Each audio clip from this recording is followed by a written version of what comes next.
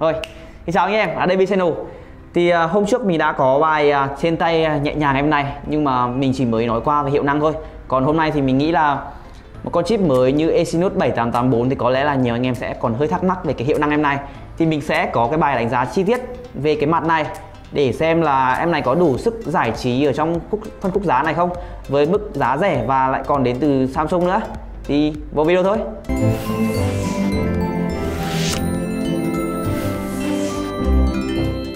Còn nếu anh em muốn rước em này về với giá ok thì hãy nhớ ghé thăm trang web của Bạch Long Mobile để có thể tham khảo giá nhá.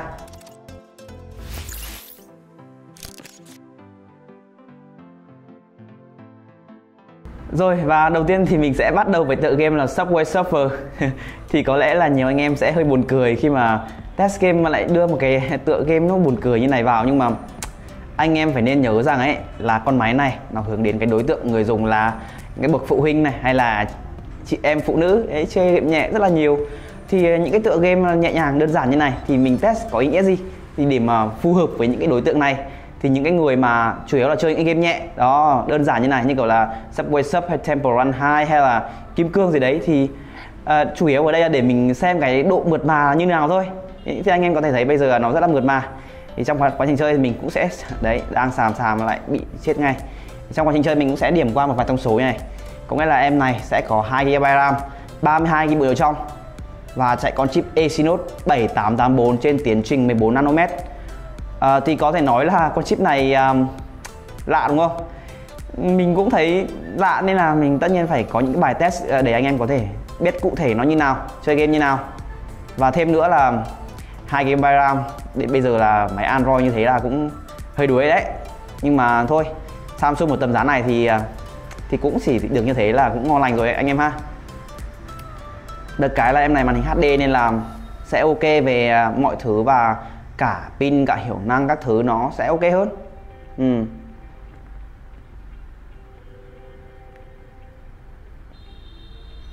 kiểu uh, chất lượng nó không sẽ đó anh em có thể thấy là mình đang chơi đây và rất là mượt mà luôn. Anh em sẽ thoải mái, có thể chơi những cái tựa game nhẹ nhàng này. Thì tất nhiên rồi, những cái tựa game nhẹ nhàng này thì chủ yếu là mình xem nó mượt mà và nó ok hay không. Chứ còn à, đồ họa thì cũng không có gì để nói đâu. Thôi vậy ha, vậy là đủ rồi. Nãy giờ thì mình sàm sàm về à, phần chơi game nhưng mà mình lại quên mất là nói về cái điểm số mà mình đã chấm được ở em này. Thì có nghĩa là AnTuTu mình chấm được là 89 nghìn này GPU được 18 nghìn và CPU 40 nghìn. Thì tốc độ đọc ghi bộ ở trong là 404 MB giây và tốc độ ghi là 104 MB giây. À, thì đây là những con số cũng rất là ngon lành ở trong tầm giá đây.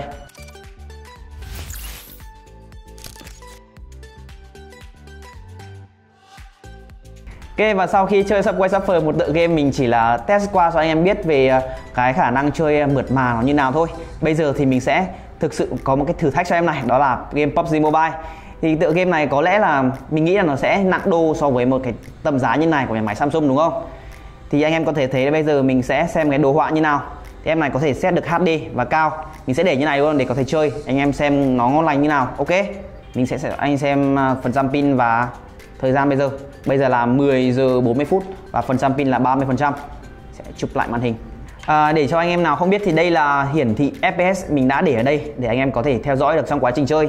Vì có lẽ là thỉnh thoảng mình sẽ chơi nhưng mà mình không để ý FPS thì anh em có thể nhìn ra màn hình và uh, có thể xem được là cụ thể nó FPS nó sẽ sụt như nào và nó chuyển biến như nào ấy. Vừa sụt xuống 30 này.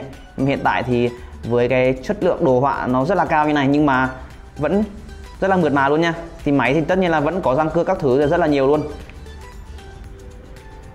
Nhưng mà ở cái tầm giá này thì uh, thể hiện đồ họa như này mình thấy là ngon lành và cái độ mượt mà hiện tại là vẫn rất rất ngon.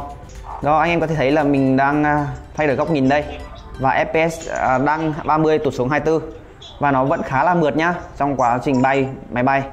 FPS lúc nhảy xuống nào đã giảm xuống 14 15 này. Đó, thấy chưa? Khá là kinh khủng. Nhưng mà thôi, mình vẫn chưa thấy giật lag gì. Chưa chơi mà, nên cứ tiếp tục thôi.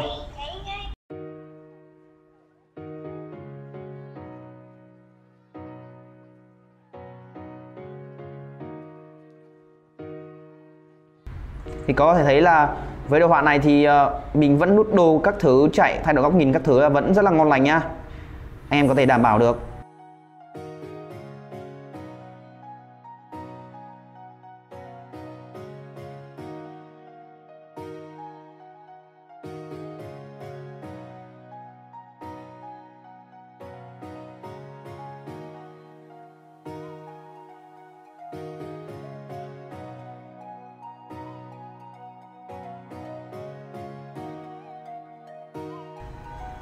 Máy chơi ổn định nhưng mà thỉnh thoảng đang chạy nó vẫn tự tụt xuống 23 224 anh em có thể thấy đây đó. Không làm gì cả nhưng mà các khung hình thì nó vẫn ok. Chỉ là cái sự uh, chuyển không phải chuyển cảnh mà là thực sự là cái quá trình uh, mình lướt chạy chạy này nó không mượt mà lắm. Đó đồ họa nó không mượt mà lắm nhưng vẫn đáp ứng được nhá. Tụt xuống 21 không có ai để chơi ra buồn quá.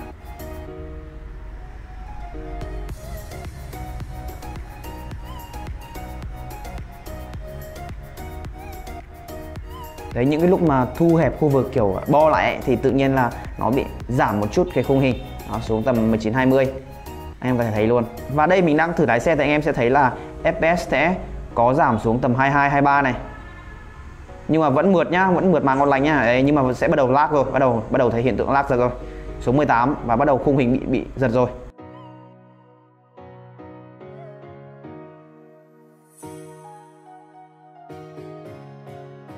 Thực ra thì hôm qua mình cũng có test một lần rồi nhưng mà bị fail nên là giờ quay lại nên là nhưng mà hôm qua ấy thì lúc đấy là lái xe chơi các thứ rất là mượt mà luôn. Không hiểu hôm sao, không hiểu hôm nay sao lại như thế này, chắc là có vẻ như con chip này nó không ổn định hay sao ra hay là do mạng ra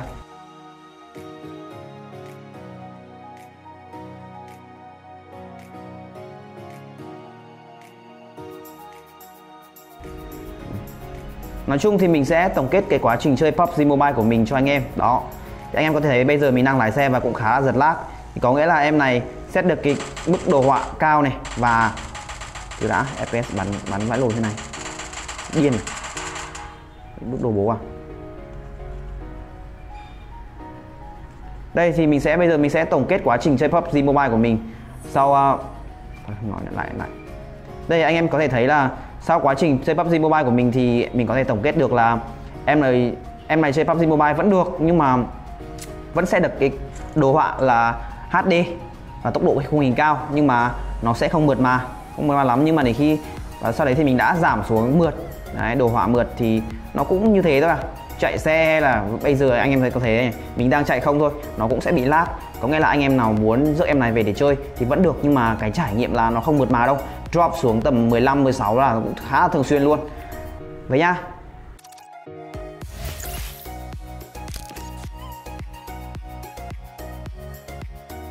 Vậy là sau cái tựa game nặng nề PUBG Mobile mình đã thử thì em này đã thể hiện không ngon lành lắm. Thì bây giờ mình sẽ chuyển qua một cái tựa game nó nhẹ nhàng và ok hơn cho anh em. Đó là tựa game Liên Quân Mobile. Để xem em này có đủ sức cân cái em này không. Thì anh em có thể thấy là bây giờ mình đã set đồ họa cao nhất ở em này. Tất cả mọi thứ mình đã set cao hết. FPS cao, độ phân giải HD, chất lượng hình ảnh này, chất lượng chi tiết đều cao. Để mình vào xem em này chơi sẽ ok hay không. Mình cũng sẽ nói thêm một chút về cái tựa game PUBG Mobile vừa nãy ấy, thì có nghĩa là mình hôm qua đã có test rồi nhưng mà hôm qua thì cái sự thể hiện của em này này nó lại khá là ngon lành kiểu FPS duy trì rất là ngon lành và nó ít giật lắc giật cực kỳ luôn. Thì cũng không hiểu vì sao hôm nay lại như thế. Thì cũng có thể là do tốc độ mạng chưa ngon hay là cũng có thể là do cái um, máy nó không ổn định. Có thể là thế. Nên là hôm qua thì ngon lành mà hôm nay nó lại khá là tệ. Thì uh, mình cũng không hiểu là vì sao đây. Nhưng mà mình cũng sẽ đưa ra những cái đánh giá chi tiết cho anh em cái nhìn cụ thể nhất ở đây. Còn về cầm nắm chơi game thì cái nhiệt độ sau này thì nó tập trung chủ yếu ở phần này này. Còn ở phần đít máy này nó cũng bình thường, nó cũng không quá đâu. Vì à, cái khung viền em này là mặt sau nữa, nó làm từ nhựa. Thì nó có một cái đặc điểm như này, làm từ nhựa thì tay chúng ta chơi game thì nó sẽ ok, nó không quá nóng. Nhưng mà trong máy thì nó lại khá là nóng vì nó không tản nhiệt được. Chất liệu nhựa thì nó có cái đặc điểm như thế. Có nghĩa là chúng ta sẽ thoải mái nhưng mà máy thì không thoải mái đâu. như anh em có thể thấy là vào đầu game đây, mình đã bật FPS cao và nó đang duy trì ở tầm 58 đến 59 và số 55 đấy, tự nhiên là số 55 nhưng mà vẫn rất là mượt mà hiện tại này. Đồ họa thì vẫn nhìn thấy được những vết răng cưa. Màn hình em này cũng HD thôi. Và cũng khó đòi hỏi được cái GPU ở cái mức giá này nó có thể ngon lành trăm phần trăm được, đúng không? Nhưng thế này là cũng ok lắm rồi đấy.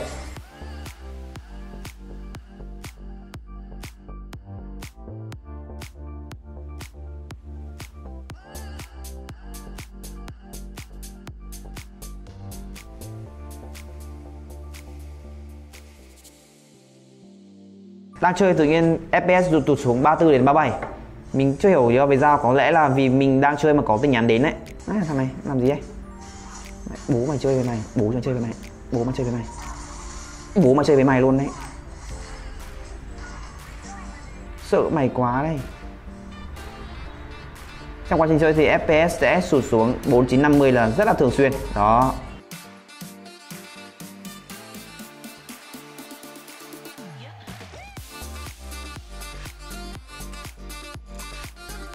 Thấy là mình đã có những pha đánh nhau hai ba tướng hero nhưng mà vẫn rất là thoải mái luôn.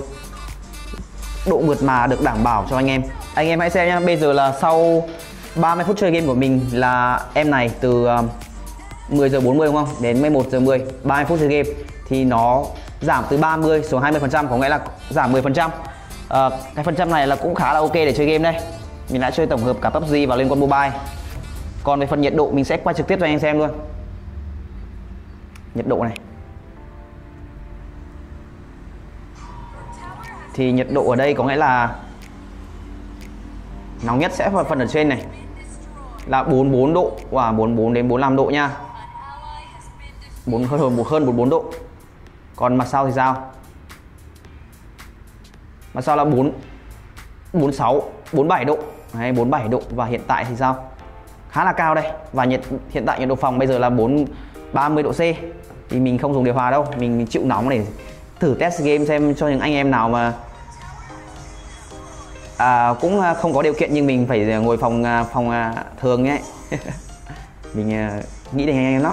Anh em nhớ ủng hộ nhé. Vậy là anh em đã biết được cái hiệu năng của em này chơi game liên quân mobile là nó chơi rất là mượt mà. FPS thì vẫn tụt thường xuyên xuống 50 51 là bình thường còn 45 tầm 45 là cũng khá là xảy ra. Nhưng trong quá trình combat hay là um, skill các thứ thì ôn thi thì vẫn rất là ngon lành. Ok vậy là sau cái bài đánh giá này thì à, anh em nào có cái câu hỏi về hiệu năng của em này thì đã có câu trả lời đúng không? À, tựa game nhẹ nhàng cute các thứ thì nó chiến ok.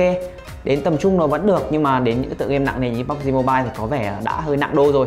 Thì um, cái kết quả của này thì cũng khá là dễ đoán đúng không? Thì anh em nào còn thắc mắc gì em này về hiệu năng thì hãy nhớ comment phía bên dưới. Cảm ơn đã đồng hành cùng mình like share video cảm thấy hay và subscribe cho channel tạm biệt.